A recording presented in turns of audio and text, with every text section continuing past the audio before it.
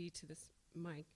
Um, it's an honor and a real pleasure to be invited to speak at the AA. Um, I think when I first came to London in uh, nine, uh, 89, all the offices I wanted to work in were actually AA grads or AA tutors. So um, it's, it's really nice to be invited here to speak about the work. Um, I think probably the title of the lecture, I hope, will speak for itself as I kind of go through the projects. But in a way, the title is in opposition to the idea of data mining, which is you know very topical and relevant. But what we're about and what um, we try to do with the work at ABA is um, kind of discover identity rather than um, assembling data. And with the work as the kind of vehicle and also the catalyst for creating an urban culture or suburban culture um, through identity and um, architecture as an instrument. Um, I also want this lecture to be a tribute to everybody in the office. It's not just me um, coming up with all the work, it's a collective effort. And so I was thinking it's lucky I'm not Norman Foster. There'd be 200 or 550 people up there, and it'd be really hard to find. Um, but um, yeah, the the work is collective, and it's also, um, I think, a lot of the projects, the personalities and input of people in the office really does come through.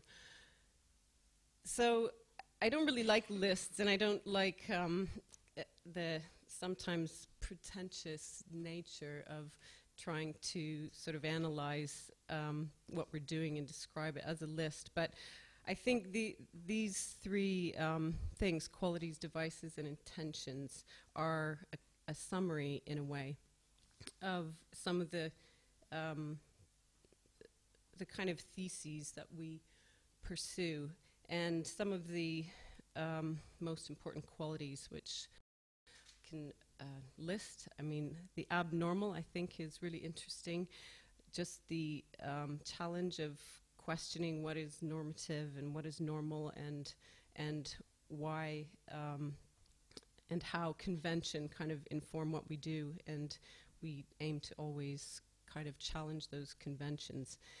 Um, sensuality, reaching the senses that architecture normally doesn't reach, materiality and immateriality, we explore both in equal measure. Um, we're interested in how architecture can be immaterial, but sometimes we do that through um, a really intensive exploration of, of specific materials and elements. Site specificity, illusion, a kind of Baroque device that I think is really neglected and um, is really useful and powerful in architecture devices, actually, that list could be about 50, 50 words longer, but some of the um, common themes that uh, apply to the work crossbreeding, folding, wrapping, peeling, and slicing. In a way, I'm, I like the way these words are verbs because the work we do is, I think, always in process. We don't see the work as a kind of final, final solution, but it's, it's a kind of capturing of a, of a moment in a process. And the intentions, um, these are kind of hybrid words, but I think a lot of what we do is about transforming typologies. And maybe what we're creating is something that could be called hybrid typologies. Um, that the work we do is a, often a byproduct of a process. We try not to over design things. And um, solutions emerge from a process. A loose fit, that's about sort of buildings that are maybe start out as being housing or start out as being office buildings or something like that, but um, and are particular in their response, but they become um, generic. We hope they can be used um, in other ways and become part of the infrastructure of the city or cultural infrastructure. So I mean, that's all a bit wordy, but it's, I, I suppose, um, just an introduction, and these things will, I hope, emerge through the work. This is just a, a map of um, UK and some of the projects that we're doing, sort of sprinkled around um, the UK. A lot of work in seaside towns. And this slide I show because I think um, Rachel Whiteread's house, which was a really powerful um, kind of synopsis, I think, of the the um, uh, kind of ominous sense of containment and enclosure, um, how our lives are are defined by these incredibly restrictive boundaries, and and um, Rachel Whiteread expresses this through this casting of the inside of a house, and um, in a way, this project, which was one of the first competitions um, ABA did, which was for Concept House 99, where we came second, is very much in, in response to that idea of, of taking a, a typology such as a Victorian uh, terraced house and, and kind of morphing it um, physically and programmatically so that it becomes a much looser fit um, and the, the spaces within the house I describe as breathe, start to breathe. Um, courtyard, it's kind of a, a hybrid of a courtyard house and a terraced house, and um, a kind of organic sensibility. And these um, themes kind of emerge and reemerge in the work we're doing. We don't really, uh, I was saying to Michael, we don't really um, do houses anymore, although we have about five on the go in the office. And I, um, it's hard to sort of refuse them when people call because I've sort of come to realize that houses are really an opportunity to um, experiment, and each one is a kind of thesis in a way. And although they're incredibly labor intensive, um, sorry, this is a, a house up outside of Derby. It's um, it's just about to go in. It's at the very early stages, sort of um, pre-planning submission. It's going to be a PPS 7 house, and it's a, a kind of transformation or reinterpretation of a courtyard house. The client has a steel fabrication factory and, and is going to um, uh, do all the cladding in Corten steel. This is a house in Canterbury. It's an extension um, and kind of gutting of a house, and, and this is, in a way, an offspring of some of our earlier projects such as the Salt House and the Wrap House. Hyde House is um, a project that was commissioned by Landmark Estates. It's um, it's again a kind of experimental house. We and seven other architects were asked to design landmark houses in this water park, Cotswolds Water Park, which is down here on the left.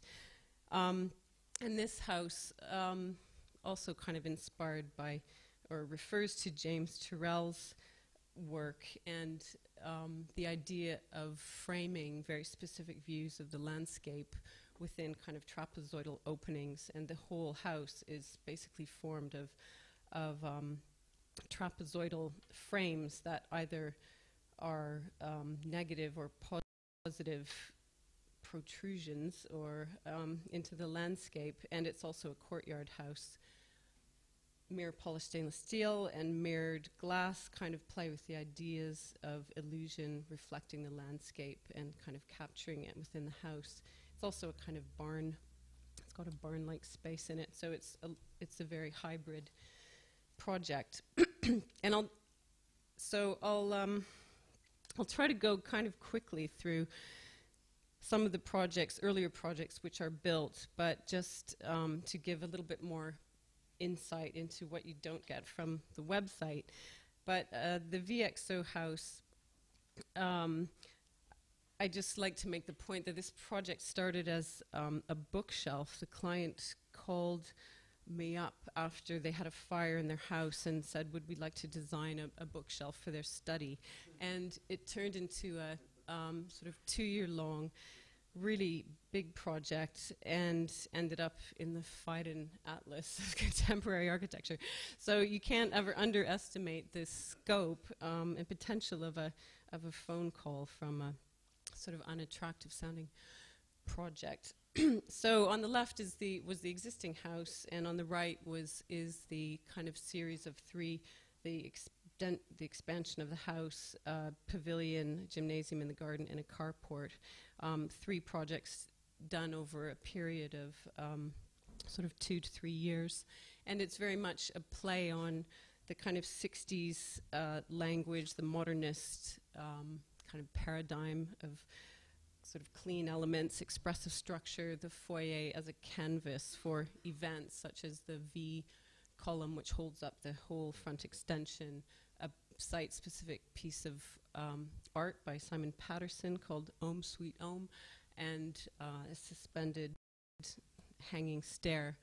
Um, this this wall drawing by Simon Patterson is also um, there's a door in it that leads to the um, the toilet basically at the front of the house, and so it's kind of ironic that you walk through a, a sort of piece of art to the washroom. But Simon Patterson's work has this um, humor and this narrative quality that um, I think works really well in this context. The suspended stair, it's it's hanging from eight bolts on either side of um, the mesh, which is stainless steel mesh, which is um, walkway, normally used as walkway grading. And we more or less gutted the house, introduced double height spaces. And um, as that project was under construction, we um, were asked to design a gym in the garden, which was conceived as basically um, a series of landscape elements um, a concrete plinth, which is a retaining wall, a timber deck, and the the garden sort of elevated and held up, um, held up above the walls with anthropomorphic columns. as we'd done a kind of V, we felt we had to work in context with our structural expression, and so the X's became the the structure for the gymnasium the wall at the back is is a retaining wall that's clad with pebbles, sort of hand individually laid into the um, in situ concrete and rendered wall. And then finally, the um, I think my favorite element of this project, the carport, which is kind of a timber deck, some picture frames that the cars drive through, and then an O, which cantilevers, um, well, holds the cantilevered end of the of the roof, so it's the most sort of implausible letter that could act as a major piece of structure. And what's kind of interesting is that, along with our um, sort of pledge to never do any more work on houses, the clients have asked us to do an extension to the roof um, and have a study up there. And, and so we've kind of we can't refuse. We can't have somebody else working on this project. So we have a, a Y roof study happening on the top floor. Um, the next project, Fold House, this hasn't really been published very much, but because it's another project that when uh, it was finished, I was sort of embarrassed that we'd been we were still doing house extensions, and so I didn't want anybody to see it. And then um, it uh, um, it finally was published in, I guess, Architectural Review, and I had really uh, hugely positive feedback from it. And it it is the kind of beginning of a lot of the work that we're doing, um, or the kind of experiments that we're doing. It's an extension, obviously the L-shaped extension at the back of the house. And, and the idea was to, uh, a very simple idea, to take a single flat surface and through a series of cuts and folds, um, to create an enclosure that becomes a kind of multifunctional device. The, the folds of the surface become a sunshade, they're structural um, columns, benches. And um, we ended up making this in brass, three millimeter thick brass sheets that would express, um, well, enable us to express this really thin quality of the skin kind of peeling away from the from the enclosure. And so you can see the sort of 20 mil by 40 mil steel columns, which are then clad in, in brass, which is patinated. Um, but it is a natural finish, so the, the patination actually changes color depending on the humidity and heat. And just the, um, again, working with illusion, we, we kind of disguise the thickness of our roof structure with mirror polished stainless steel. And this enables us to have kind of two structural systems, one that's thin and one that's deep to accommodate um, insulation and um, structural depth. And uh, I guess the principle of, of making this extremely thin and attenuated surface was to really dematerialize the, the extension. We didn't want to compete with the existing Victorian house, and so it's, it was meant to rest very lightly both against the house and in the landscape, and at the same time act as a, as a framing device to the garden. And that's um, that project, which in a way leads on to the wrap house, which is a is a extension of that. Um, well, it's a house extension. Again, it's something that I sort of conceded to do at a dinner party um, for a friend of a friend who sort of found out somehow that I was an architect and could we replace their conservatory? And I sort of thought, oh my God, we really don't want to do another house extension. Um, and this has become a very important project for the office, winning the Stephen Lawrence Prize. So it's um, it's a site in Chiswick. That was the existing conservatory, a, a kind of um, quite eclectic Edwardian house, and the classic um, kind of brief of extending out the back with a new um, living space. And these diagrams show the, oops, sorry, the kind of process that um, we went through. I think it's uh, thinking about sticking to the right slide. But anyway, we started with the uh, the top diagram, just this the glass box that is the kind of expected solution, the modernist um, box at the back of the house, and then we started to deflect the plane, the incline of the roof to open up towards the trees, and then by the third diagram down, dividing the space kind of laterally, um, trying to create different qualities of space under one surface, and then the diagram on the bottom, which shows the plan deflecting and the roof deflecting, and so the two geometries of the of the um, each end and the front and the back of the roof creating this kind of um, roof landscape, which was also part of the brief of the client that they wanted to look down on the roof and it to be a part of the, the garden. So these were the images that were more or less sold to the client, and we then embarked on a very painful process of figuring out precisely the geometry of of the roof and having to look at it upside down and on top and extracting the Im- information um, for the working drawings and the whole thing took a really long time and was really tough, but we made it um, with the help of brilliant structural engineers such as David Akira, who I always plug in my lectures. Um, and these are the steel framing. We had a fantastic contractor. Um, John Stidworthy, who's uh, even more of a perfectionist than we were, which is really hard to find in a in a contractor. And so, the finished building um, again is um, kind of developing these ideas of of um, kind of continuity, a single surface that performs many functions, and is exploring a kind of other system of geometry to achieve um, many things, such as the roof as a landscape, and then the interior as a compressed space at one end, the slide on the left, and which then lifts and twists to become a very open space. The fireplace acts as the kind of pivotal point of the structure. Basically, all the structure comes down into the fireplace, and as you can see from the slide on the left, um, image on the left, the, the roof light is, well, the roof is not connected structurally back to the house. Um, at the same time, more or less, as the Wrap House, we were doing the Salt House in Essex, which is on the site of um, the little flat roofed 60s house. I don't have a pointer.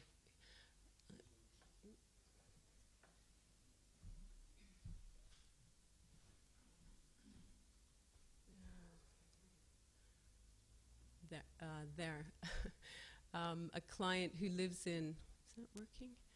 In Highbury invited a few um, architects to sort of do a little competition for this. There, oops, keeps there. There's the site. Um, for this house in Essex, which is on the um, Maldon Estuary, the Blackwater um, estuary, and it's a. We were really fortunate to have this kind of terrace of 19th century oyster cottages um, immediately to the left um, on the site. So there was a kind of frame of reference and a large communal garden, and just a completely eclectic mix in, in the rest of um, St. Lawrence Bay. But these are the um, oyster terraces, which are white, uh, well, they're timber clapboard, and um, most using the, well, it's the kind of typology of the hipped roof oyster cottage. And we sort of took it on ourselves um, to explore this typology. I'm not really that interested I- inherently in hipped roofs, but we thought took it on as a kind of challenge to um, work with a, a roof form that is really strictly defined through its geometry and then distort it um, basically to create a house which is in itself a bay window rather than a, a house with a bay window. Um, on the front the bay window becomes the house and which allows 180 degree views up and down the coast. And these diagrams show how this kind of morphing process of the the hipped roof takes place to create a house which is has a, a kind of south-facing courtyard on one side and is a kind of uh, device for having fantastic 180 degree views up and down the coast. Um, and so the plan, although it, it is a fairly simple transformation geometrically, um, gave us an incredible variety of sort of sections through the house just through the kind of automatic distortion you get when you sort of change the profile of the front of the house. And we embarked on a long process of exploring the um, how to kind of achieve this continuity and wrapping of spaces both within the house and um, on the exterior. And so the, the plan is kind of again a byproduct of that distortion of that typology. We didn't really design these these angles. We created recessed and covered areas um, worked with the uh, hipped roof geometry, and and this is the kind of resulting plan, which is a very open plan house. Um, and one of the major elements of the brief was that it's um, open, first floor to uh, ground floor. These are an example of the working drawing plans. We don't make life easy for ourselves, and I just thought this kind of expresses just one step along the way to achieving something that, that looks relatively simple. Um, and so this is the it again. It's a kind of two-sided house. It hasn't really got a front and a back. It has two fronts. Slide's not changing. Sorry. Um, uh, and we tried to. Um, we wanted the project to be clad completely in in black slate, but the clients sort of chickened out and um, forced us to clad it in timber, which was no bad thing. This is the the kind of pr- construction process. The steel frame, it's elevated above the ground as it's in a floodplain, and the timber infill, which was really fantastic and kind of a shame to cover it up, as architects usually say. Um, it's not changing the slide. Did we copy this PowerPoint onto the? It is. It's because it's really slow. Oh right. Okay. Well, those were some quick views. um, there, there's um, that's the sort of entrance courtyard with the outrigger, which is a family room. Sorry, this is really bad. The um, interior, the sort of sunken living room, which is open plan. The stair, which is a continuation of the the kind of folding geometry of the balustrade. Um, and the view up to the atrium roof basically where there's normally a chimney in these kinds of houses, we have a double height space and a, and a roof light. And this is a kind of visual connection from the first floor to the ground floor. And, and then just the ability, well, the geometry of the facade, which sort of works with the, um, with the neighboring houses in making this facade a kind of place that can be inhabited and that you can really engage with the landscape. And this is the house finally in its context overlooking the Black Water. Um, the next project is less about a, a, kind of manipulation of form and more about um, surface and material.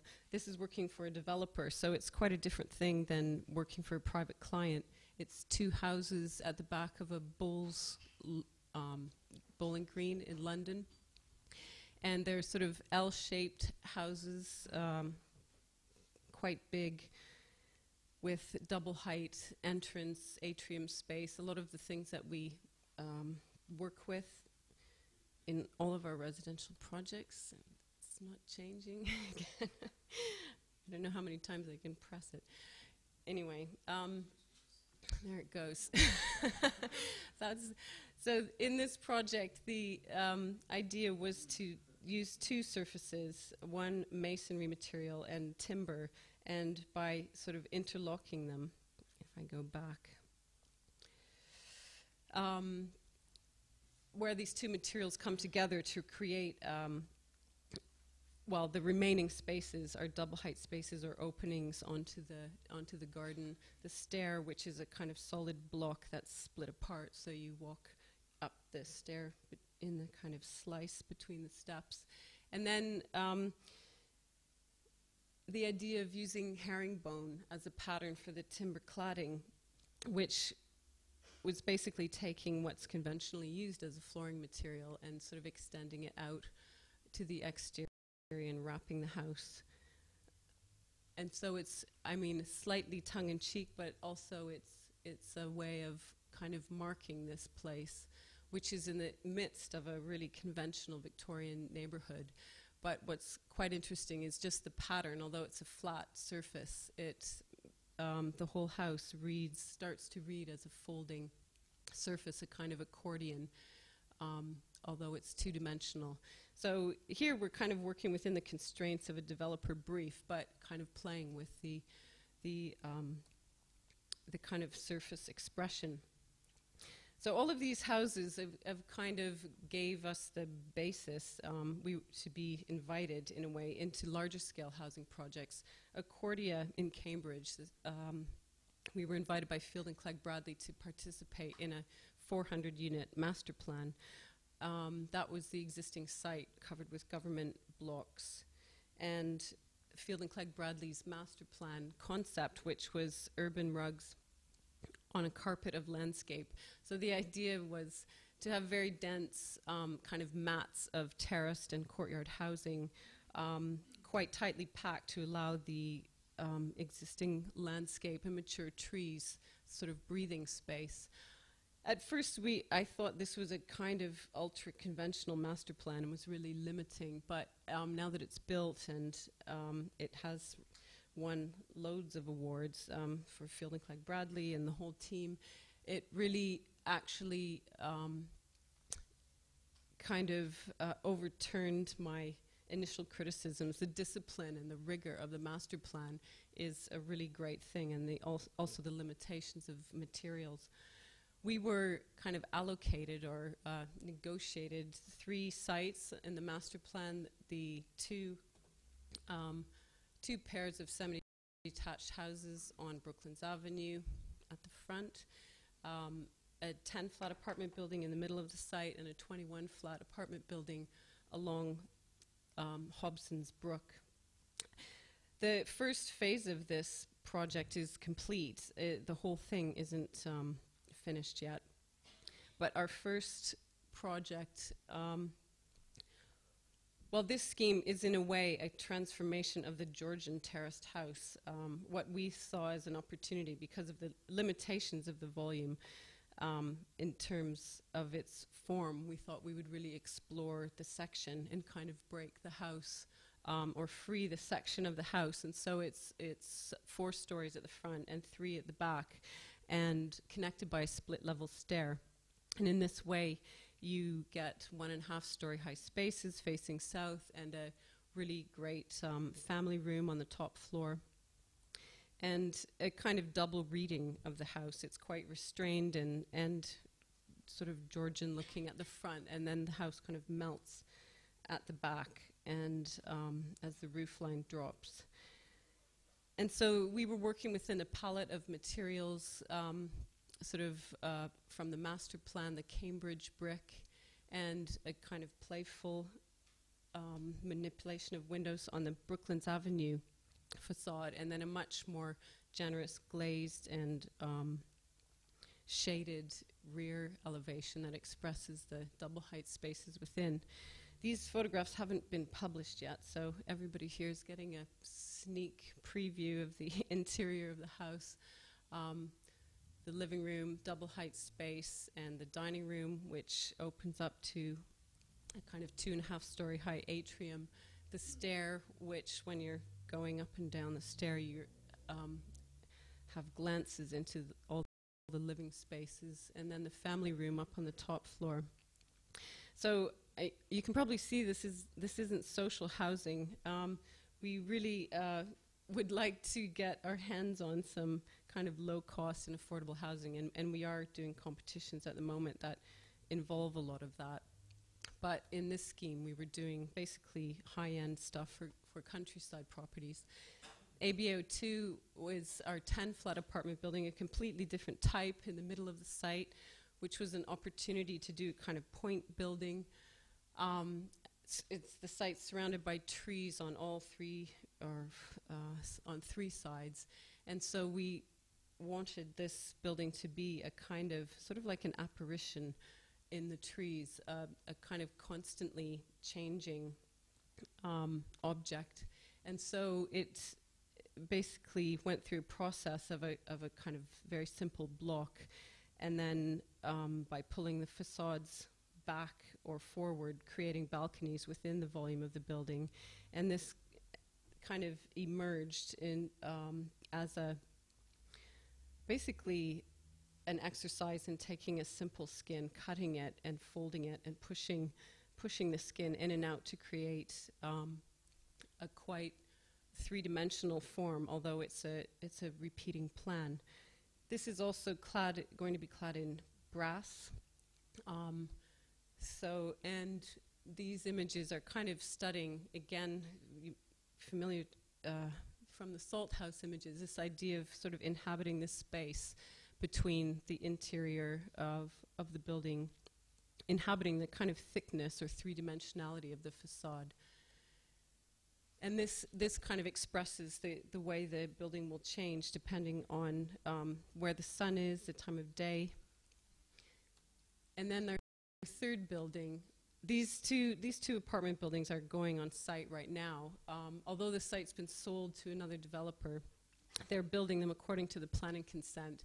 And this is a kind of lesson, this building, because it was a kind of classic attempt to have um, a building which is composed of interlocking interlocking flats of different configurations so that everyone has a double height space and through ventilation and it is this kind of fascinating puzzle um, which then has to be rationalized into a building that works which is really really difficult um, but we got it to work and it again, this building is also about sort of expressing the individuality of the flats, rooms which extend to the outside. But um, unfortunately, the developers have changed it into a block of, of single height flats, and the kind of ambitions of the program um, and of the flats individually and the type have been kind of lost. So it's a it's a kind of lesson in in how far you can push uh, a kind of house builder in sort of attempting to uh, create new typologies. This next project is something we're just at the very early stages at. We um, won a competition for uh, a site with uh, 68 units of housing at South Chase in Newhall. And this is kind of our, our first really suburban challenge. It's, it's a developer who, or landowner who wants to create a new kind of urban um, agglomeration in a way in the countryside. And it, a lot of the site's been developed already with a lot of different architects, such as Proctor Matthews and PCKO. And we were invited to um, look at this site in the bottom right hand corner. And we kind of are looking, we're looking at local typologies such as the Essex barn and somehow trying to attempt a, a kind of um, hybrid of, of a kind of barn typology and a kind of simple repeating kind of totemic form such as the Brancusi um, totem, which seems like a kind of odd pairing, but uh, these are the, the sort of references that we, we draw on. So we had to develop um, apartment building typologies and terrace houses, and again, this the challenge was to kind of bring the ambitions of our of our single houses into um, basically mass housing and a lot of repetition, and using the repetition to develop patterns that are based on on manipulating the form, the facades of the house, so that people um, are able to look up and down the street. Again, the, the kind of idea of the house as, as a bay window. And um, basically, we developed six, five or six different typologies, but they were all intended to act as, as kind of um, continuations of each other in a sense, that, that a terrace um, becomes the starting point of an apartment building which terminates a street and sort of defining a character uh, for this this new town in a way that is specific to Essex, um, yet has a kind of density and quality that is is really distinct. And these are the apartment building types. Um, so that project is just starting. We're working with Galliford Try on on that site and actually developing uh, patio house types in central Milton Keynes.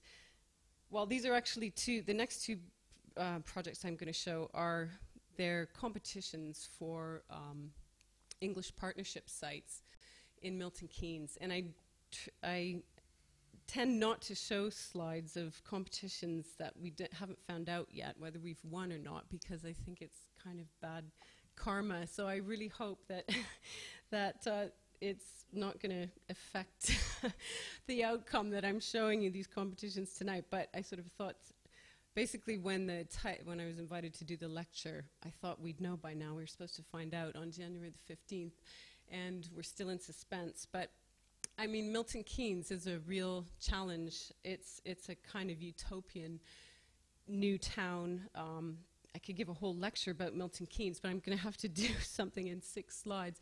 Basically, this they're trying to densify Milton Keynes and add about I don't know 50,000 or uh, just thousands of units of housing and densifying the whole the whole um, city. And Rick Mather Architects were asked to do a master plan of this um, this whole lot, which is called oops Milton Keynes West One.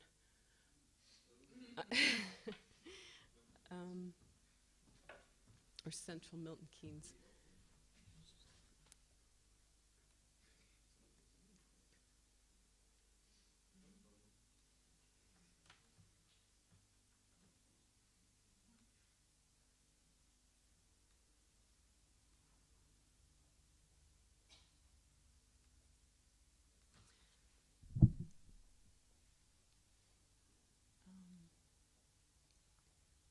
Should say that this this competition was um, we were shortlisted with Rick Mather and HTA Architects, who um, again invited us to join in the shortlisting process with them, and so it's it's very similar to Accordia, but um, bigger. We each were allocated 200 units of housing and mixed use retail leisure and commercial space. So it's kind of a jump up in scale from Accordia. Um, hmm. It's okay. It's kind of a big PowerPoint.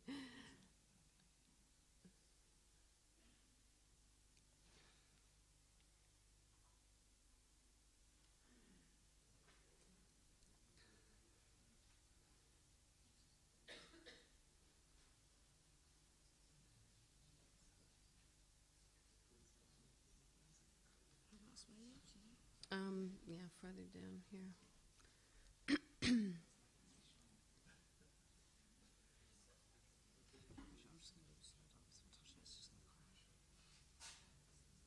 Is this an old laptop or a new one?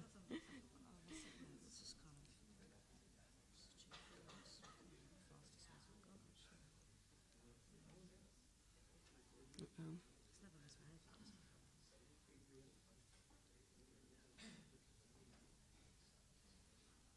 Is this, I don't know if this is a good omen or a bad omen that it crashed on, on Central Milton Keynes. Uh oh, maybe we should skip it.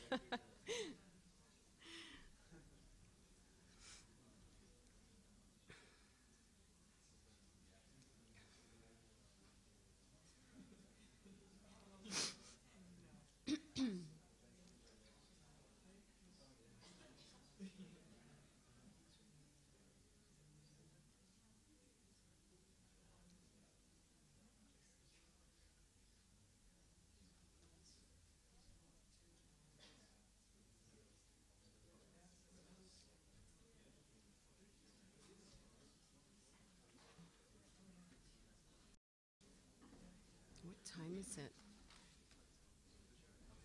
It's twenty past seven.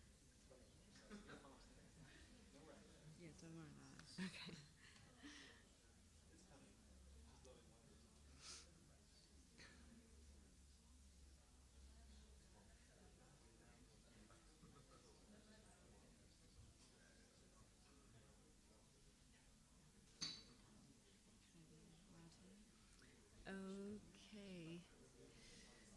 Maybe we go to that slide.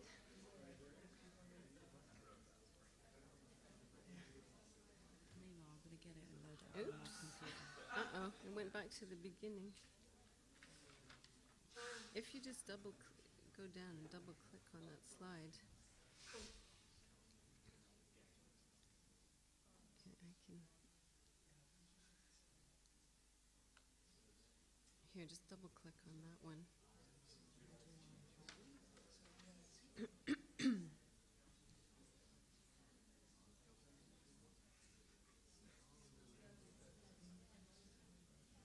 Or actually, that one there. Okay. I think you can. Let's see what happens.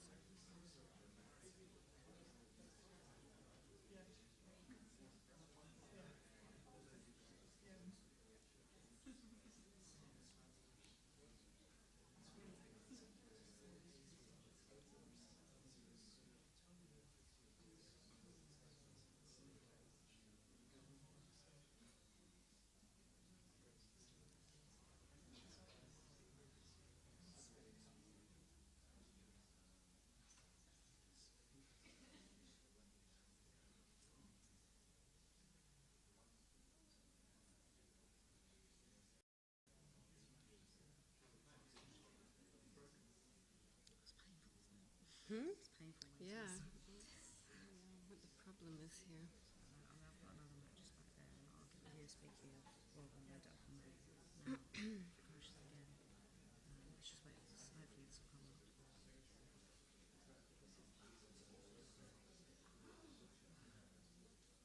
Ooh. Let me get, let me get Sorry about that. Um,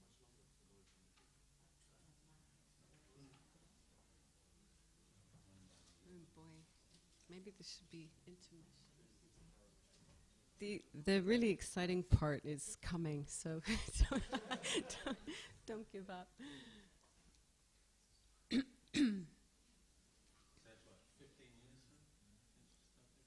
Ten. Yeah. Ten years.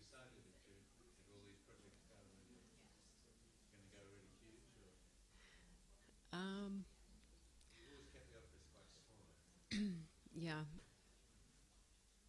I think it would be better not to go really huge in a way. It's it's what's better is to stay small and pick the projects that you want to work on and have the kind of luxury of being selective.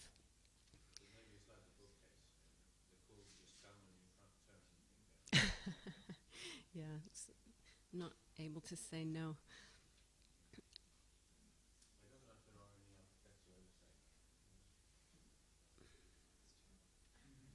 You know, you know, Norman. Norman never says no. um, hmm, God, should I like talk about something else? should I? Maybe I'll try again.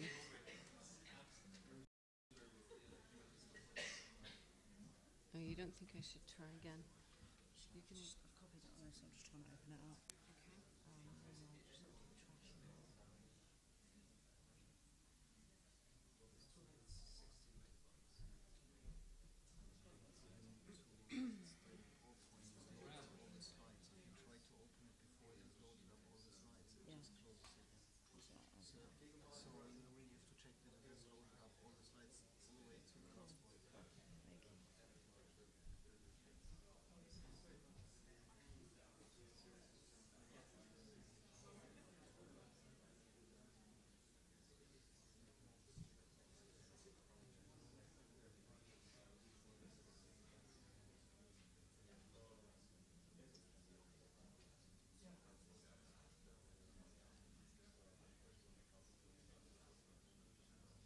Thank you. I leave this here and get the um, VGA extension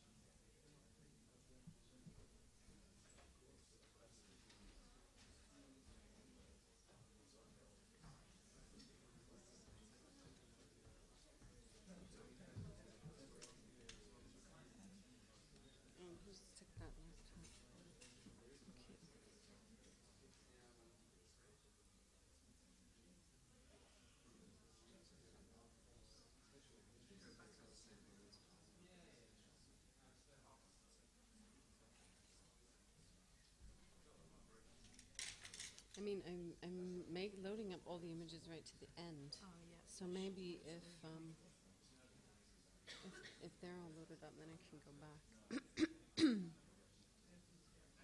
I'll just um, delete the first hundred and mark my hidden files. Okay. Yeah. Oh, but wait till that last one comes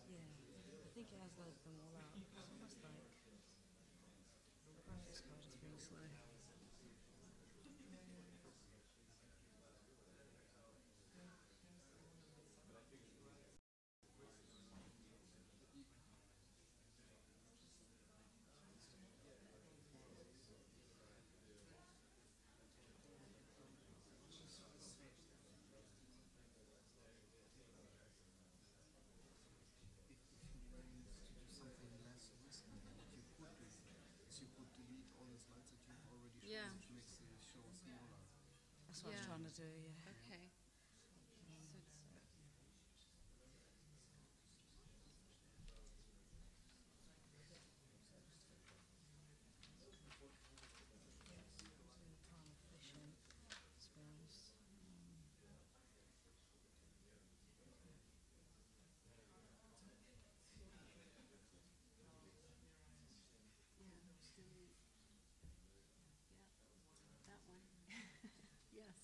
Okay.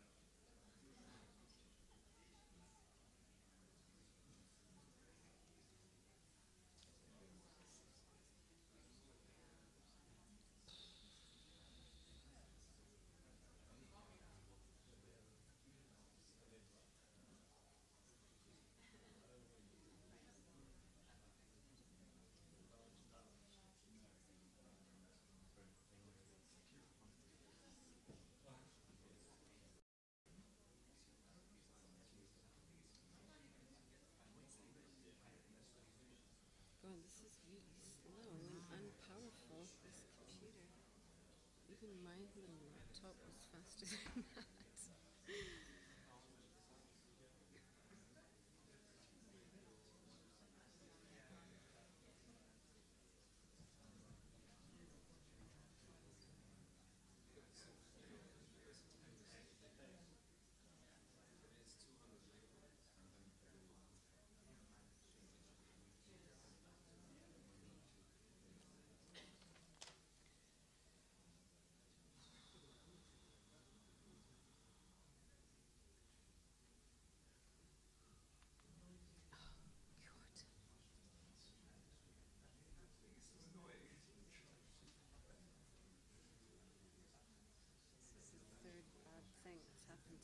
First, my computer died this morning, and we got a cold. Oh, here we are. Okay, so Okay. do you want to just, I'll just read all the big one. I think it's he- here. Oh no, no, it's back back. Just try, just try. Mm, just go for it. Okay. Uh, You just just um, go to slideshow. Yes. Okay. Sorry about that, everybody. Um, okay, Central Milton Keynes. In, what's interesting about working in Milton Keynes is that um, um, is well two things: the idea of scale and density. Uh, basically, the whole place is really kind of designed at a superhuman scale. It's it was designed for cars more than people, and it's uh, really dominated by the grid, uh, this 100 meter square grid that the whole uh, center of the city is laid out on. And so you have this kind of ubiquitous quality of the place where on, on each 100 square meter block there's one really big office building or one type of suburban house. And so what English partnerships are trying to do is is um, densify it and bring a sort of urban scale and intensity to the place. And so with our um, team, we of HTA architects, Rick Mather architects, and ourselves were shortlisted for this site, Central Milton Keynes West 1, and our buildings are um, the ones highlighted in green. We sort of divided up the site into 200 units and retail per architect, and and tried to sort of mix the location to create um, what are called character areas on the on the master plan, and um, and basically address this issue of scale because even the the master plan has 100 meter long blocks, and um, we really felt that this scale needed to be um, eroded somehow, and to try to bring a kind of texture and um, variety to the streetscape, we had to just consider how to basically um, deform our buildings in a way so you would have a play of light and shadow and could work with different materials. on different facades to get the kind of rhythm um, and richness of a kind of naturally evolving city texture. Now, what I'm saying doesn't necessarily go with this one slide because this is just the evolution of one of our buildings, but it shows the process of sort of starting with a 120 meter long slab in the top left hand corner, and um, again, the device of a kind of subtle folding of that long bar to introduce um, shade and shadow and allow views, kind of um, um, oblique views up and down the street rather than directly across, and then kind of manipulating this into a kind of sloping and stepping form that finally is, is kind of lifting off the ground to expose the retail and commercial levels. Um, and this is a, an image produced by Squint Opera, I believe, um, who were sort of outside 3D modeling company brought in to uh, sort of add to our shots. But what this um, does is kind of express. I mean, it is a fairly simple approach. It's it's for developer places for people, and it, it is a kind of exercise in in both kind of modulating the form and then applying a pattern that works for the um, the kind of housing layout inside. There were really strict requirements um, as to the kind of mix and number of units, but I mean, in a way, we're working in a void in Milton Keynes. There's no kind of local culture. There's no context other than sort of quite bad 70s curtain walling um, projects. And so we, um, as a group, the three architects agreed to work with stone, a kind of um, stone that relates to the clench stone, which used to be um, quarried in the in the area. And our, our other um, kind of major block type was the courtyard building in the center. And here the, the principle was that the center of the site would be a kind of oasis. And so this is a, a more informal architecture, again, playing with the idea of, of a, facade that kind of, um, or a skin that peels away from the volume of the building to create sort of inhabited um, spaces, bay windows, and balconies. Um, a, a kind of three-dimensional device also for shading the, the facade because it's south and west facing. And this is the, the kind of character of, of the street we're creating, looking through one of the gaps from the street um, into the courtyard space. So the, the kind of concept for this, um, for central Milton Keynes was, a, was the idea of a new garden city. Um, Whereas our other scheme for Milton Keynes Campbell Park, which is at the, uh, the north, north end of Milton Keynes, is, uh-oh, um, this is a really bad sign. this is our other competition scheme, which is not appearing on this PowerPoint. Okay, maybe we'll skip that. we'll go straight to um, Norway. I'll just um, basically, those two projects sort of um, are ending the, well, not quite finishing the discussion of housing, but I'm going to go to our a competition scheme here that we didn't win, but um, kind of represents the break, or we were trying to make a break out of houses and housing into cultural buildings and public building. And this competition, although we didn't win, is, I think, rep- uh, representative of the ambitions that we um, apply to all of our projects. Oh, mm. uh-oh, I think it's, uh, it's, we've lost it.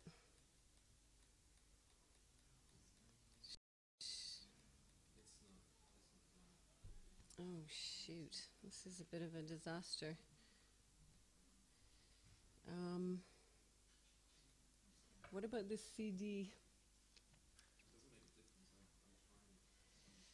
Oh, good. really sorry about this. It was working in the office. Um, what do we do? Give up.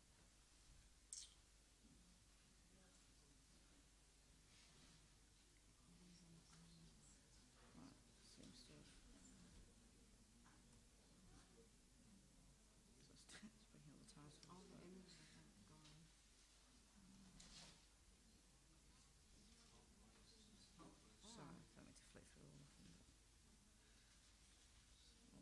just see what we've got. So that last section's behaviour, so, Well, that's, that's it. so, okay. Um,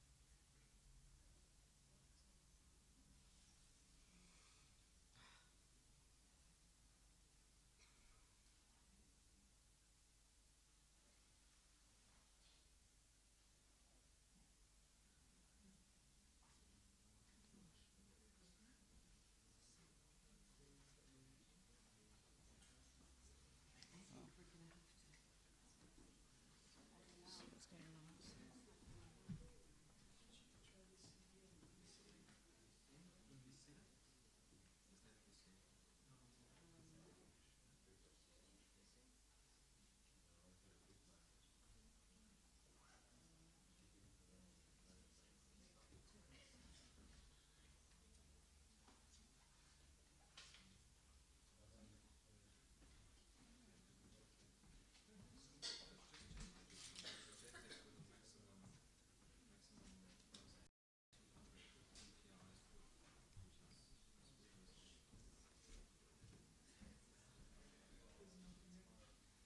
No.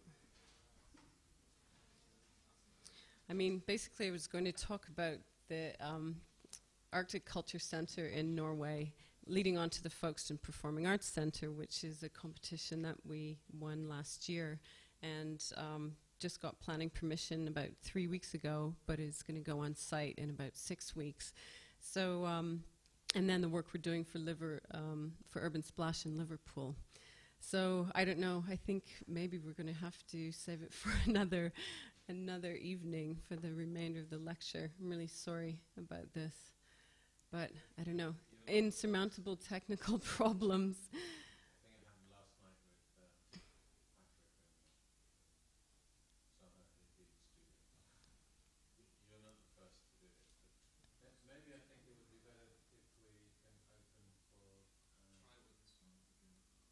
One last, one last.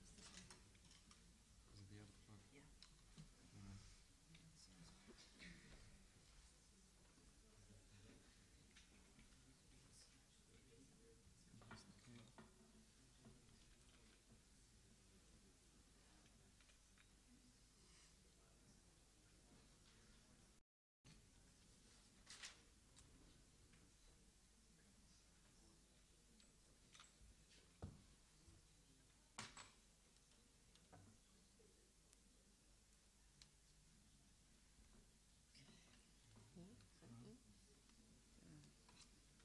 Yeah, is that it? It's, um, it's actually on the actual menu, so need to go back to the screen.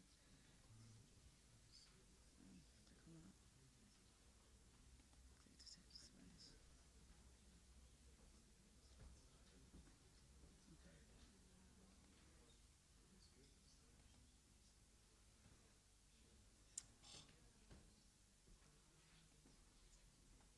If you just go straight to the Arctic Culture Center. no?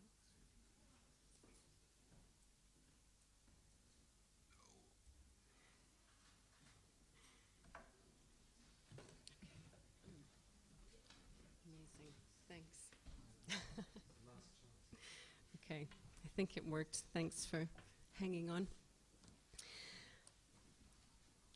This competition was an international open competition, which is um, you really only do them if you're really interested in in basically doing research, because the chances of winning are very remote, and the chances of building what you win are also really remote.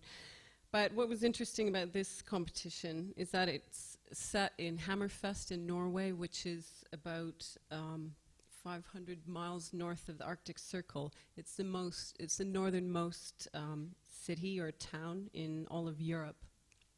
and so it's subject to really extreme climatic conditions. It was um, a kind of fishing town built all in timber and was burned to the ground at the end of the Second World War and rebuilt in the 60s. Um, so, like, like Milton Keynes, the, the town has a kind of monoculture of 60s kind of low budget architecture.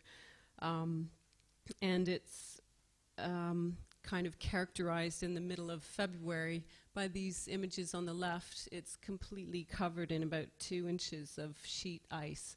And so um, walking around is really difficult. You sort of have to walk with your arms out.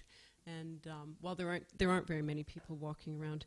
Um, and the kind of figure ground plan on the right shows the structure of the existing town, kind of scattered houses and flats. And that empty site in the middle is the former sort of working harbor front, which um, had a lot of fish factories basically along it, which the competition set as the site and is intended to be a new cultural center for the whole kind of north of um, Norway and Sweden.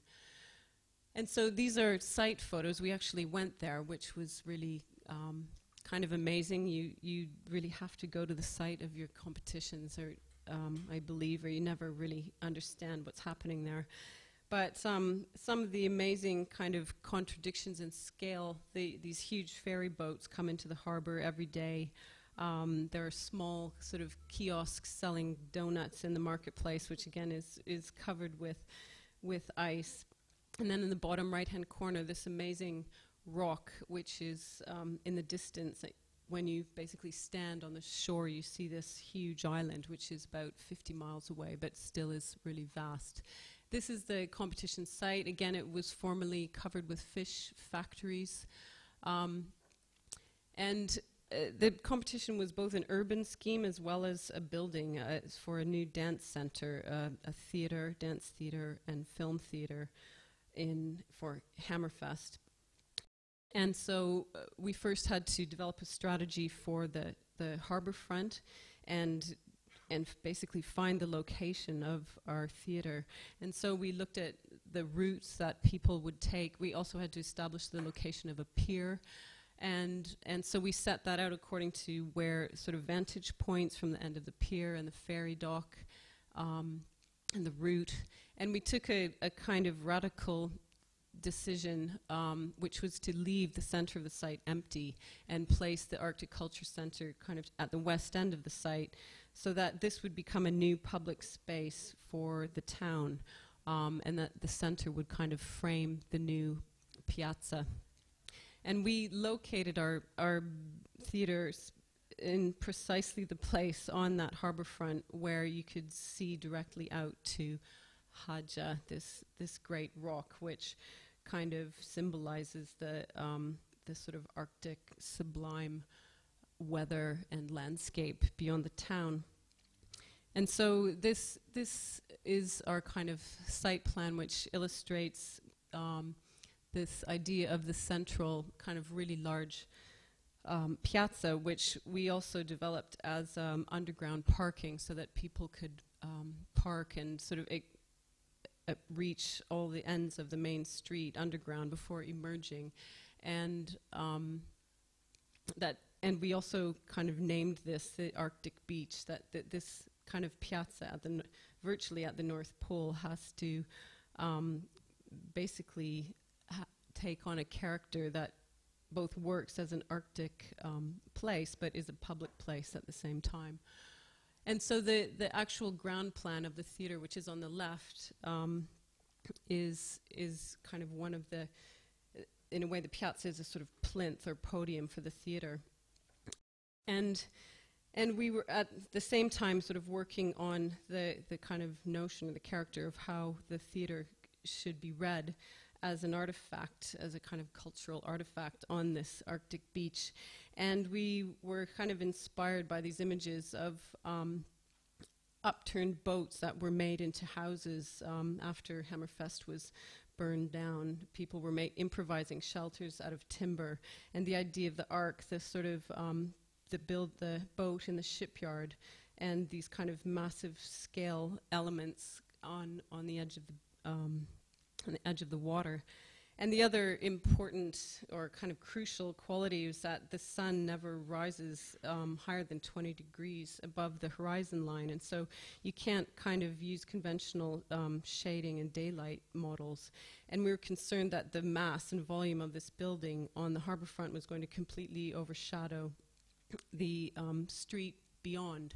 And so we lifted the building up above the um, piazza to allow light to penetrate through to the sort of crescent beyond and um, gave it a kind of underbelly, which is a segment of a sphere that I think is about 200 meter diameter sphere. So, in a way, the building becomes a, a kind of a piece of a huge ball which is hovering above the um, the town in a way at the top of the world. So we're kind of making these sort of strange connections to um, larger scale ideas of of um, landscape. Um, it's a very simple plan. It's basically if you're building at the North Pole, you just want to limit the amount of cladding as much as possible. So it's a very tight box with the program packed in, um, three different kinds of theaters, dance school, and we took the approach that you would sort of use the ground floor of the theater as as a kind of public space and use different kinds of stairs which would pierce the underbelly of the building to um, actually enter the theater itself. And this big ramp to the right of the um, building leads down to uh, the new uh, boardwalk, which we proposed. So these are just studies of, of um, the underbelly, basically looking at how this, this huge sphere sort of hovering over the foyer space creates uh, different atmospheres and kind of compresses the, the horizon line or compresses the view to this wider landscape. And these are, are more finished images, the stair up to the foyer. So we're kind of completely overturning the idea of the theater with a huge open triple height space foyer with lots of mezzanines and loads of glass. And, and we're really working on making a, a very um, uh, kind of enclosed container for the theater, and that this is a kind of public space, although it's enclosed in glass, is part of um, the city itself. And here, um, the view to the island Hajab is is really framed by both the stairs up to the theater and um, the structure. At the same time, we were exploring the nature of the skin.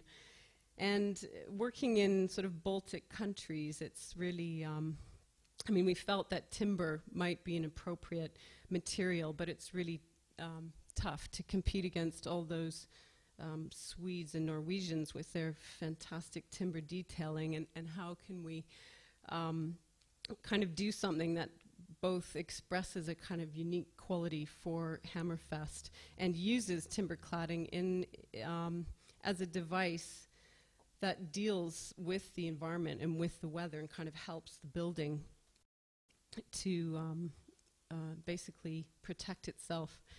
And so we started um, thinking about things like polar bears and how how the skin and the fur of a polar bear works. Um, basically, the skin of a polar bear is black, but the fur is white, and there's a, a layer of fluff between the exterior um, kind of fibers of the bear's skin, which insulate the bear, and the the um, white color comes from camouflage, and then the black skin is the heat absorbing element. And so we started thinking about how we could kind of translate this idea of how a polar bear's fur could work in architectural um, terms. And these are kind of really early studies of um, arrays of timber logs. And we looked at in section how logs basically projecting from the face of the building could trap snow, which is this section on the left. Um, in winter, against and then in summer, when the snow melts, the sun penetrates through the logs to a black skin, which helps increase the kind of environmental performance of the building in a very similar way to polar bear fur, which is the detail on the right.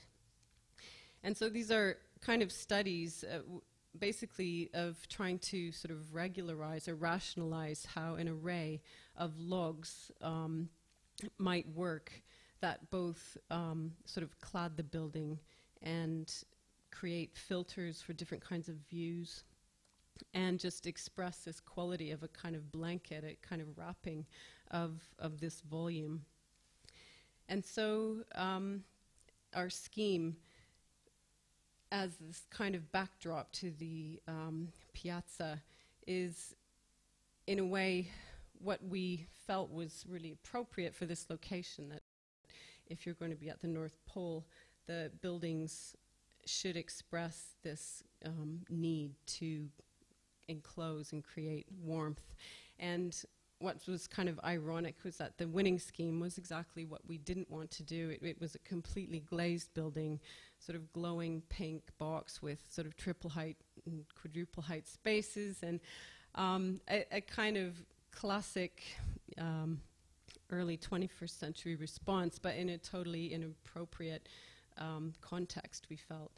So they, although um, we didn't win this this scheme, we um, really were quite pleased with the kind of places it took us in terms of research. And in a way, sort of led the paved the path for doing this competition for the new Folkestone Performing Arts Centre.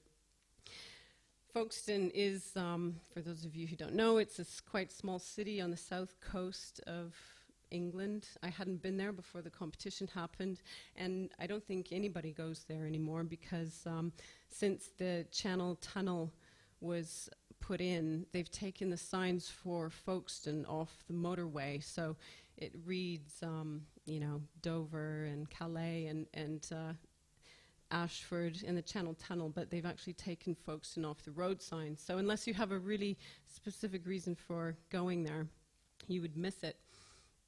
Um, and this is an image of Folkestone in the 19th century. It was a really um, popular, super popular resort.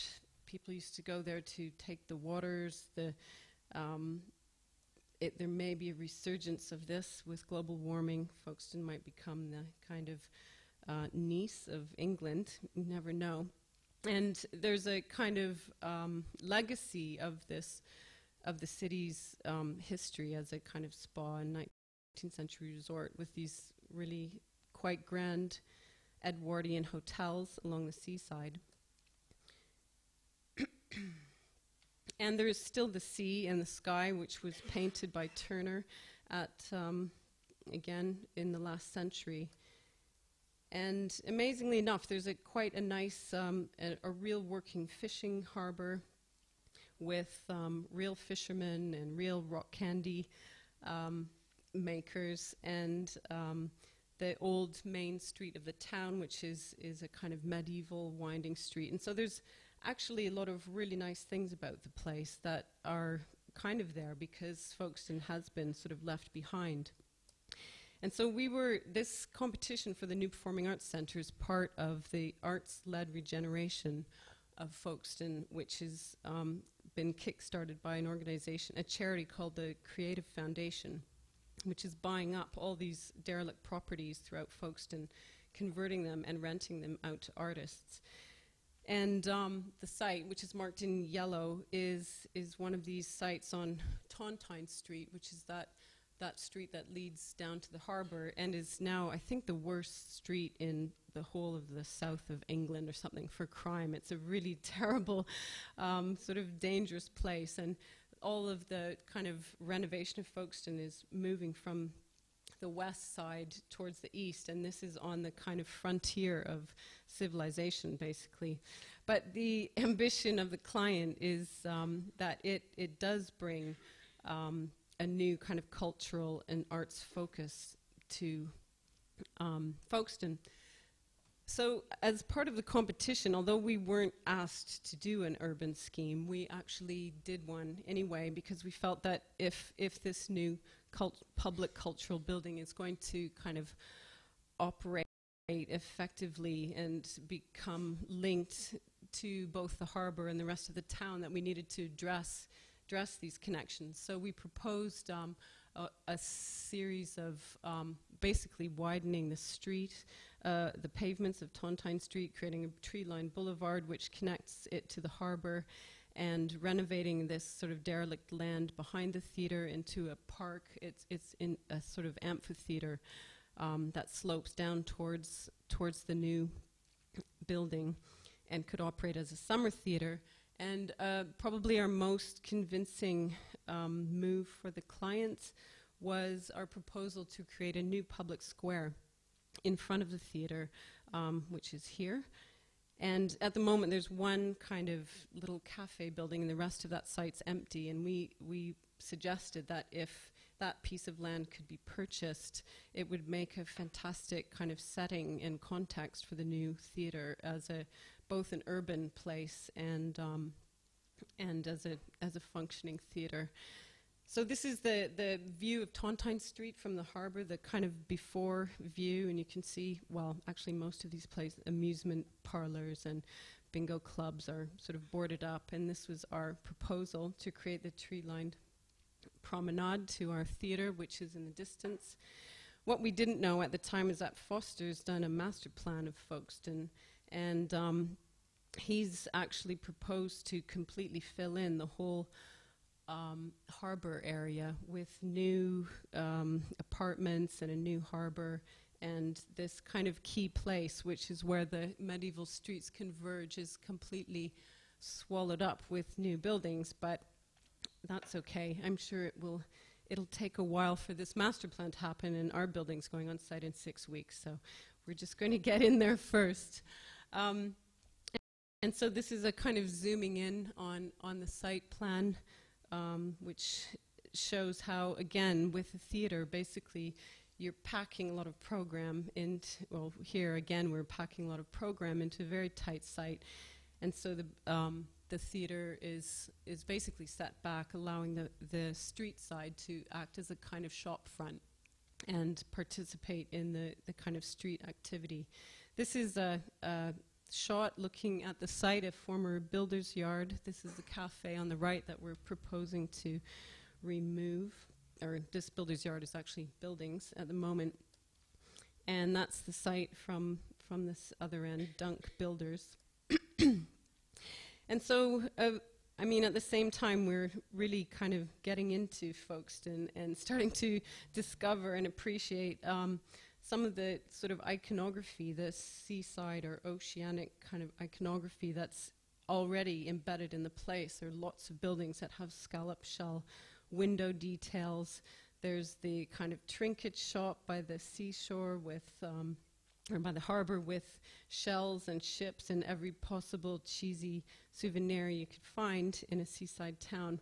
But we were actually really quite inspired by this trinket box, which is covered with shells, and thought, in a way, this is, this could be the kind of model or the metaphor for our building.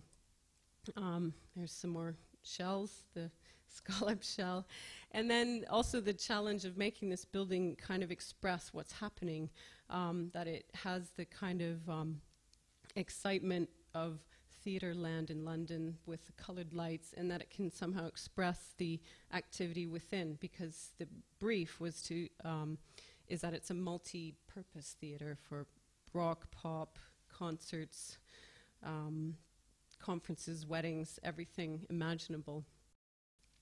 And of course, the, the shell references and scallops, there's a whole kind of iconography and lots of myths that, that use shells in um, in the kind of stories that relate to seaside culture.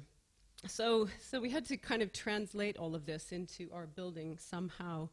And um, we basically, because it's also a very low budget building, came up with the idea of, of using really low tech sort of sign, backlit sign technology, and sort of um, cloaking the building in backlit signs, which have a sort of compressed front perspex or polycarbonate cover, so that the whole facade of the building becomes a series of um, scallops or is, is fluted and can be illuminated. And our sort of um, proposal at the competition stage was that the whole facade could be programmed with different light effects, so the building itself could subtly glow or kind of um, even change light and color according to a kind of programmed um, choreography that visiting artists could um, actually design. And so this was our sort of competition image um, showing the, the new building overlooking the new proposed square and basically the, the one of the main points of this project is to act as a kind of cultural focus and a new sort of living room for Folkestone. And so our first floor bar um, is this kind of uh, window both into the theater for the activity on the street and it's a window out. So the building becomes a kind of balcony overlooking the square so again, just to quickly go through the plans, it's, it's the idea of the, the front of the theater acting as a kind of shop front, uh, ramped entrance up to into the bar and main access to the theater itself. And then a, a balcony level, and this, this area will be the new bar and cafe. And then the top floor of the building is actually a business center. It's the Folkestone Arts and Business Center um, as it's getting funding from from um, Shepway Council for a New Startup Businesses, an incubator kind of um, program on the top floor of the building. So again, it's kind of really um, a, a, sort of hybrid building and program.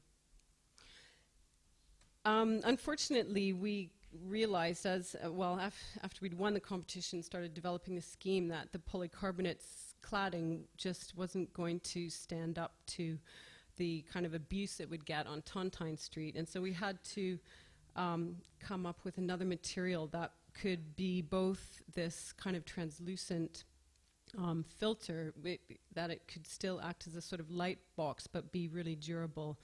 And we looked at sort of hundreds of different materials and finally arrived um, at um, expanded metal mesh, which um, I've used before in sort of early projects with Ron Arad, but also you may have seen it used by um, Haworth Tompkins on um, the Young Vic, but we didn't know that Haworth Tompkins was using it when we when we were looking at this um, material, and we're doing it in a in a really different way by turning it vertically. Um, it emphasizes the the um, the scalloped effect or the fluted effect of each one of the um, the kind of bays in the facade, and and also emphasizes it as a kind of curtain, or it could even be read as a series of columns. So we developed this um, the mesh as as our kind of illuminated cladding, and these are some of the kind of mock-up details, and our section details, which. Um, I mean, relate a little bit to what we were doing with the Arctic Culture Center. I mean, this mesh, although it's not acting as a kind of thermal performance device, it's acting as a device to kind of animate the building and activate the street. And it, and it has a kind of, um, it's about 600 mil thick, so it has the same kind of depth um, as the Arctic Culture Center building and the same kind of detailing principles. And so these are our sort of developed images, and we, we're actually really much happier with the mesh than we are with the polycarbonate. It's um, aside from the fact that polycarbonate blows away and turns yellow, um, it's it's actually got a combination of kind of toughness and sort of ephemeral um, qualities and a three-dimensional quality that we're we're really happy with.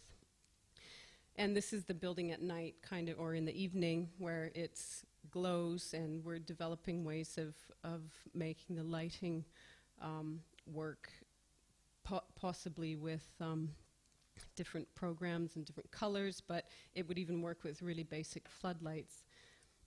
and then these are studies of the interior, again, working with a really limited budget and using really simple devices um, such as um, mirrors and Barrisol ceilings to create an illusion of space and depth. And we've cut um, sort of oculuses in the floor to make the visual connection between the cafe and the foyer. When you look up from the ground floor through one of the oculuses, you'll see the, the whole um, first floor cafe reflected in the ceiling. And more developed images. The bar is conceived as a kind of um, cube of gold that's been kind of excavated from the side of the theater. And so that's what that volume is on the right. And these layouts show the different uses of the actual theater space as concert, conferences, standing room, weddings. And so we had to develop um, a kind of language for the auditorium that would enable it to kind of work for both club nights with the seats retracted and and also convey a sense of kind of elegance or um, um, kind of glamour when the seats are pulled out because we're really trying to um, avoid the sort of school hall quality. And so the, the kind of timber cladding in the bars and the foyer are reappear in the in the um, concert hall itself. So we're sort of trying to make a really strong um, material connection between the hall and the foyers. And here's an image of, of it on a sort of club night. Looks like a high school high school dance night. Um, so that's um, where we are with Folkestone, and what's really um, interesting about that project or is is a kind of great advantage for us is that it's going on site really quickly and and is giving us a sort of foot in the door into other competitions that we've been invited to do, um, such as Corpus Christi College in Oxford and. Um, um, there's another competition. Um, well, this is how back to housing again, and I know you've already seen a lot of housing, but I think um, I just wanted to end with this project because it's at its infancy. The, the projects that you've seen so far have been more or less developed um, either very close to uh, completion or construction, whereas this project is in, his, in its infancy and it's kind of given us the opportunity to explore a new city, Liverpool, um, and, um, and kind of develop an, an, urban strategy or an architectural strategy that it's, that's both urban, like primarily urban in its response, and is just beginning to find its kind of material expression. So Great George Street in Liverpool is this road kind of at the bottom of the slide. And this is a really big site that's been assembled by Urban Splash, who you probably all know are um, the kind of developers of choice for the n- new generation of architects and everybody in the north who wants to um, reinvent their cities, their kind of post-industrial cities, into kind of um, desirable places to live.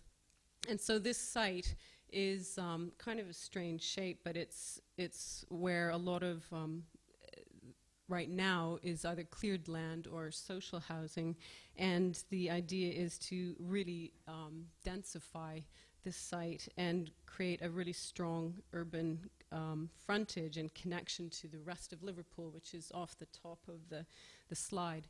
On the right, you can see the, the kind of footprint of St. George's Cathedral, which is the um, Church of England Cathedral of, of Liverpool. And then there's some pretty bad 70s um, housing in between Great George Street and the cathedral. And at the top of the plan is a, is a quite prominent sort of um, Greek neoclassical church building called the Blackie. And then it sort of bleeds off into industrial sort of wasteland beyond the site. And so this, this is the kind of um, the threshold of the site in a way. It's the intersection of Great George Street with um, that leads back into the center of Liverpool. This is the Blackie, and the site is basically in this void here as you, um, you look down Great George Street. And so at the moment, um, most of this housing is um, actually empty, um, and, it, and it is kind of dominated by St. George's Cathedral, which is elevated on a hill to the west of the site.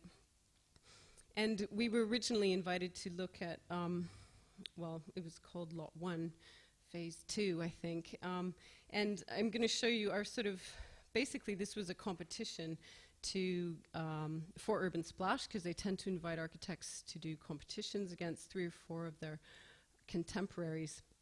And so, for this competition scheme, we um, felt it would was kind of um, it would be interesting to kind of draw on the the heritage of Liverpool, the kind of warehouse heritage where building the buildings have real weight and real mass and a really strong presence, which is kind of echoed in the Sir Giles Gil- Gilbert Scott's Cathedral at the top of the hill.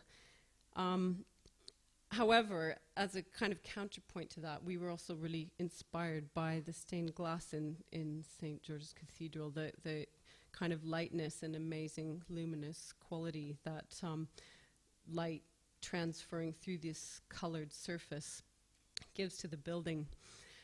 So we basically developed a whole lot of, or looked at a whole lot of options in terms of accommodating the, the urban splash brief, which was for 100 units of flats on quite a tight site and, and commercial space, and studied all of these different configurations, which the, um, the kind of typical apartment typology could take on the site. And we studied uh, several of these three dimensionally and got kind of carried away with ideas about creating a building that's kind of wrapping a courtyard and sort of being seduced by these three dimensional images, but um, at the same time subjecting them to tests such as shadow and daylighting um, models, which showed that it was a really bad proposition that really the building needed to be open to the west and the south, and we had to negotiate this kind of change in scale from an eight story frontage on Great George Street down to basically bungalows at the back of the site. And so the building became this kind of spiral of volumes wrapping um, a communal outdoor space. And basically, we felt that the, the kind of color that is um, so uh, kind of amazing and kind of hidden in the cathedral could sort of jump out and and ex- uh, be expressed in this building as a kind of introduction or flagship for the new development. And the idea was that the colored um, sort of panels of colored glass on one side of bay windows would um, act as kind of um, lights or colored luminaires when you're walk, uh, walking or approaching the building from the north. You would read it as this this series of colored lights, whereas when you saw the building from the other end, it would read as as a more conventional building with bay windows. So we were kind of playing with these um, kind of references and analogies, and the and Urban Splash was really happy, and we thought we'd won that competition, but instead of giving us that site to develop, which we were really keen to do as our kind of prize, we were given a different site and told to start all over again because the site that we I just described to you is up here at the top of um, Great George Street.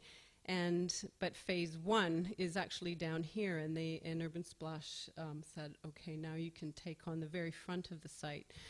The other architects involved in the scheme, Quarecraft and um, Holly Mickhill, are, are also doing other buildings within this mix. And so this was a completely new challenge. We had to kind of um, kiss goodbye our earlier scheme and take on a, a completely new project in a way, which was um, to address this site sort of at the nose of Great George Street on either side of this really strong Gothic um, building called the Wedding Shop. At the moment, it's got a wedding shop in it, but it's it's this kind of lonely building, which is going to be surrounded by eight, nine, and ten-story apartment buildings. And um, on either side of it and behind it was our site. And so we approached this really as a as a kind of um, urban proposition more than a building and did a series of studies of what this site, the master plan conditions of the site, sort of without our site, and without our building, and what and here is um, what we were supposed to build, which was a building completely um, encompassing this um, unfortunate wedding shop. But what's what's kind of interesting is that the sort of density that Urban Splash is proposing does really start to define this um, this intersection and this um, end of the street. And so this is a real synopsis of some of the studies we've done, but you can see from basically these four studies, we were suggesting that it was a kind of overdevelopment of this site and that really kind of quashed this, this Victorian building. And we made a series of propositions of, of breaking the, the um, program into kind of smaller elements or sculpting them as a kind of frame or ultimately just pulling our building away from the wedding shop and, and manipulating it formally so that it's in a way more respectful and creates a kind of finer grain, a finer texture of building around the around this building. And so these plans sort of show that kind of evolution. And Urban Splash were open to that. They sort of said, yes, we agree. You don't need to fill up the site with our brief. You can you can break it up into smaller elements. So then we had to, for the next phase, sort of start looking at our site as two two buildings with the wedding shop in the middle, and we were still pretty unhappy with the um, the kind of density and overshadowing, and so we started to sort of slice and slide pieces of the of the program volumes around um, to break to break it up and provide views and different qualities of flats and allow more light into the building from different angles.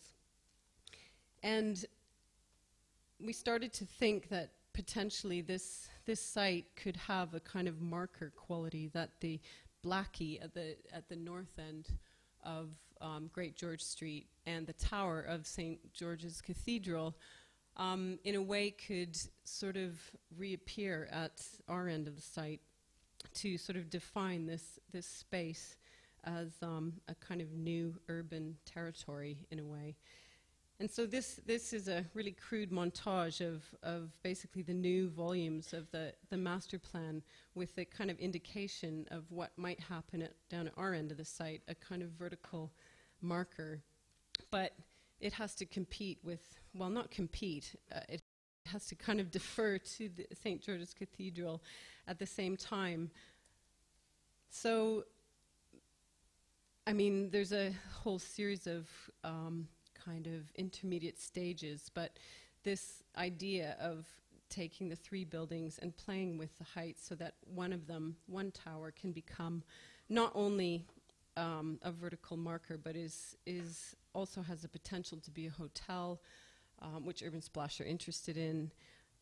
And these, this image sort of shows how we've begun to sort of sculpt the, the roof line in a way to let more sunlight into the communal courtyard and to start to express the a kind of similarity to the, the kind of neo-Gothic buttressing of, um, of the towers of St. George's Cathedral. And here we're just at the very early stages of, of looking at how windows could work in the, in, within these forms. And uh, really, these were just to introduce this concept to Urban Splash, and they were, they were really, really keen, and they really want us to do quite a tall tower now. So this is um, this is basically where the scheme was um, taken to just as of about a week and a half ago, and and at the moment we're basically writing a brief and defining the sort of master plan controls um, for these three towers, and potentially doing one that's that's quite significantly taller. So this is where I'm going to sort of end the lecture, and I hope it gives uh, an idea of um, our approach and how we we attempt to respond to the um, briefs that we get, both at an urban level, but really develop a quite specific and intense identity for each scheme. Um, we have yet to see where this one goes, but um, that kind of concludes the lecture, and hopefully, in a in a year, or so there'll be some finished projects to show. Thank you.